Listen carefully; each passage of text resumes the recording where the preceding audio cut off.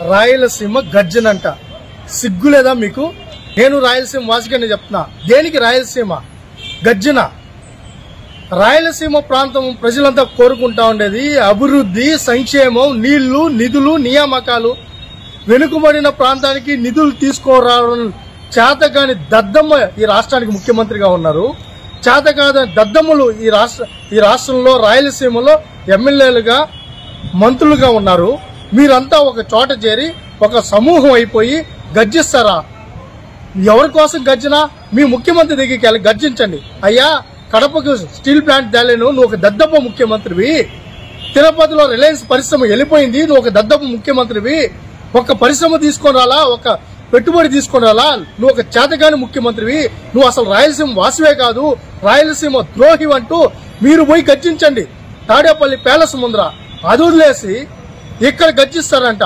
మీరే కదా అధికారంలో ఉన్నారు మీరే కదా పాలిస్తున్నారు మీ ముఖ్యమంత్రే కదా మీరే కదా ఎమ్మెల్యేలు మీరే కదా మంత్రులు సిగ్గు లేకుండా ఎగ్గు లేకుండా నీచాతి నీచంగా ఎవరి మీద దుష్ప్రచారం చేయాలని ప్రాంతాల మధ్య వైషమ్యాలు సృష్టిస్తారా?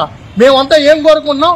రాయలసీమ యువతగా రాయలసీమ విద్యార్థులుగా మేము కోరుకుంటా ఉండేది ఈ ప్రాంతానికి నీళ్ళు కావాలి నిధులు కావాలి నియామకాలు కావాలి. అభివృద్ధి కావాలి. వెనుకబడిన ప్రాంతానికి నిధులు తీసుకొని రండి. పరిశ్రమలు తీసుకొని రండి. మాకు ఉపాధి కల్పించండి మేము అడుగుతా ఉంటే దాని గురించి మాట్లాడటంలా ఆత్మాభిమానం ఆత్మఘోష అంట. మీ ఆత్మ ఘోషిస్తా ఉంది. ప్రజలు చేత్కరిస్తున్నారు. మమ్మల్ని ఈ ప్రభుత్వం కూలిపోయేటట్లుంది.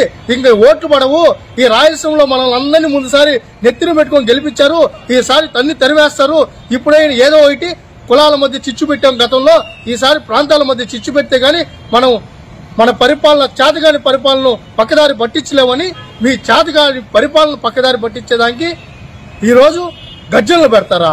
ప్రజలందరినీ పోలీసులు పెట్టుకొని తోలుతారా? అడ్డం పెట్టుకుంటారా? వాలంటీర్లని రెవెన్యూ వ్యవస్థని ఒక వ్యవస్థను కాదు అన్ని వ్యవస్థలను పెట్టుకొని మొన్నేమో తిరుపతి ఈరోజు ఏమో కర్నూలులో ఎవరు అడుగుతున్నారయ్యా? మాకు ఉద్యోగాలు కావాలి. జాబ్ క్యాలెండర్ మీద ప్రశ్నించండి మీరు.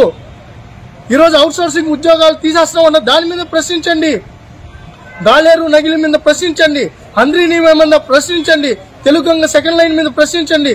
పరిశ్రమల కోసం ప్రశ్నించండి కానీ ఈ విధంగా గజ్జలు పెడితే ఎవరు చూస్తూ ఊరుకోరు. మేమంతా కోరుకుంటా ఉండేది మా ప్రాంత అభివృద్ధి తప్ప ఇంకోటి కాదు.